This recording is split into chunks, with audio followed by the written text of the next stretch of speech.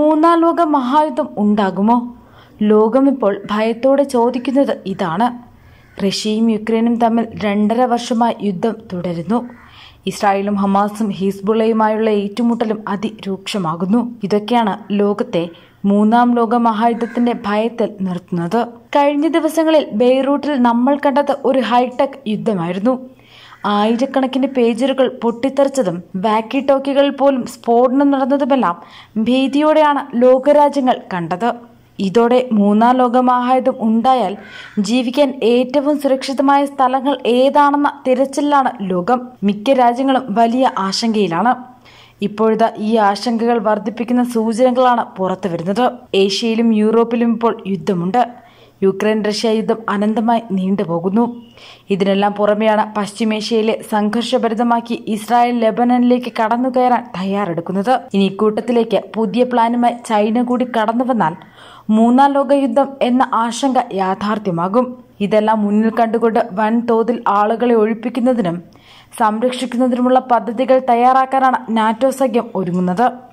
നാറ്റോയുടെ logistics കമാൻഡിന്റെ തലവനായ lieutenant general Alexander സോൾഫ്രാങ്കാണ് ഇത് സംബന്ധിച്ച വിശദാംശങ്ങൾ പുറത്തുവിട്ടത്. യുദ്ധമുനയിൽ നിന്ന് പരിക്കേറ്റവരെ ചികിത്സയ്ക്കായി എങ്ങനെ മാറ്റണമെന്നത് സംബന്ധിച്ച പദ്ധതികളാണ് ഇതിൽ ആദ്യം ചർച്ച ചെയ്യുന്നത്. നേരത്തെ നാറ്റോ സഖ്യം ഇറാഖിലും അഫ്ഗാനിസ്ഥാനിലുമെല്ലാം ഇടപെട്ടതുപോലെ ആയിരിക്കില്ല ലോകമഹായുദ്ധമുണ്ടായാൽ സംഭവിക്കുകയെന്നും സോൾഫ്രാങ്ക് പറയുന്നു. എന്നാൽ റഷ്യ നാറ്റോയെ തകർക്കാൻ ഇറങ്ങിയാൽ കാര്യങ്ങൾ എളുപ്പമാകില്ല എന്നും അദ്ദേഹം പറയുന്നുണ്ട്. റഷ്യയുടെ അതിശക്തമായ വ്യോമസേനയും അവരുടെ കൈവശമുള്ള മിസൈലുകളുടെയും റോക്കറ്റുകളുടെയും വൻ ശേഖരവുമെല്ലാം വൻതോതിൽ ആൾനാശം ഉണ്ടാക്കും. മാത്രമല്ല പരിക്കേറ്റവരെ എയർലിഫ്റ്റ് ചെയ്യാൻ പോലും കഴിയാത്ത അവസ്ഥയും ഉണ്ടാകുമെന്ന് നാറ്റോ തലവൻ ചൂണ്ടിക്കാട്ടുന്നു. ഈ സന്ദർഭത്തിൽ പിന്നെ ചെയ്യാൻ കഴിയുന്നത് ട്രെയിനുകളിൽ ആശുപത്രി സംവിധാനങ്ങൾ ഏർപ്പെടുത്തുക എന്നത് മാത്രമാണ്. പക്ഷെ അതീവ ഗുരുതരമായി പരിക്കേറ്റവരുടെ കാര്യമേറെ ബുദ്ധിമുട്ടാകാനാണ് സാധ്യത. രണ്ടായിരത്തി ഇരുപത്തി ഒൻപതോടെ നാറ്റോ സഖ്യത്തിൽ ഉൾപ്പെട്ട ഒരു രാജ്യത്തെ റഷ്യ ആക്രമിക്കുമെന്ന് തന്നെയാണ് കരുതുന്നത്. നാറ്റോയുടെ ജോയിന്റ് സപ്പോർട്ട് ആൻഡ് എനേബിളിംഗ് കമാൻഡിന്റെ പ്രധാന ചുമതലക്കാരനായ സോൾഫ്രാങ്ക് ജർമ്മൻകാരനാണ്.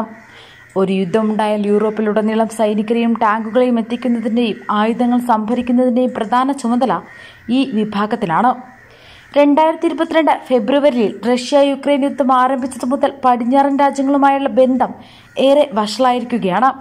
ഇത്തരമൊരു സാഹചര്യത്തിൽ റഷ്യയുമായി ഒരു കരയുദ്ധത്തിനുള്ള സാധ്യതകൾ സോൾഫ്രാങ്ക് ഉൾപ്പെടെയുള്ള നാറ്റോ പ്രമുഖർ മുൻകൂട്ടി കാണുകയാണ്. ഇക്കാരണത്തിലാണ് ആദ്യമേ തന്നെ നാറ്റോ സഖ്യം മെഡിക്കൽ സംവിധാനങ്ങൾ ഒരുക്കുന്നതിന് അടിയന്തര പ്രാധാന്യം നൽകുന്നതും. വൻതോതിൽ റെയിൽ റോഡ് സംവിധാനങ്ങൾ ഉണ്ടെങ്കിൽ മാത്രമേ പരിക്കേറ്റവർക്ക് പെട്ടെന്ന് തന്നെ മതിയായ ചികിത്സ നൽകാൻ കഴിയുകയുള്ളൂ എന്ന് നാറ്റോ മനസ്സിലാക്കുന്നു. റഷ്യ ആക്രമിക്കാനെത്തിയാൽ അമേരിക്കൻ സേനയെ എങ്ങനെ വിന്യസിക്കണമെന്നത് സംബന്ധിച്ചും ചർച്ചകൾ പുരോഗമിക്കുകയാണ്. നാറ്റോ പങ്കാളിയായ പല രാജ്യങ്ങളും തങ്ങളുടെ സൈനിക ശേഷി വർദ്ധിപ്പിക്കാനുള്ള നീക്കങ്ങളും ഇപ്പോൾ സജീവമാക്കിയിരിക്കുകയാണ്. ജർമ്മനിയും പോളണ്ടും എല്ലാം ഇതിനായി വൻ തുകയാണ് മാറ്റിവെച്ചിരിക്കുന്നത്.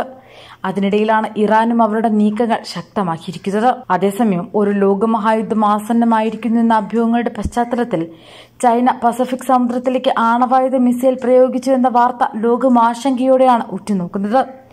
ഭൂഖണ്ഡാന്തര മിസൈലാണ് ചൈന പ്രയോഗിച്ചതെന്നാണ് റിപ്പോർട്ടുകൾ പറയുന്നത്. പതിറ്റാണ്ടുകൾക്ക് ശേഷമാണ് ചൈന ഇത്തരമൊരു മിസൈൽ പരീക്ഷണം നടത്തുന്നതെന്നതാണ് ആശങ്കയ്ക്കുള്ള പ്രധാന കാരണം. പസഫിക് മേഖലയെക്കുറിച്ച് അമേരിക്കയുമായി അവകാശ തർക്കങ്ങൾ നടത്തുന്ന സമയത്താണ് ചൈന ഈ നടപടിക്ക് ഒരുങ്ങുന്നത് എന്നതാണ് ഇതിന്റെ പ്രാധാന്യം വർദ്ധിപ്പിക്കുന്നത്. മാത്രമല്ല ചൈനയുടെ കൈവശം കഴിഞ്ഞ വർഷം മെയ് മാസത്തിൽ അഞ്ഞൂറോളം ആണവായുധങ്ങൾ ഉണ്ടെന്നും രണ്ടായിരത്തി മുപ്പതോടെ ഇതിന്റെ എണ്ണം ആയിരമായി വർദ്ധിപ്പിക്കുമെന്നുമാണ് വിലയിരുത്തൽ.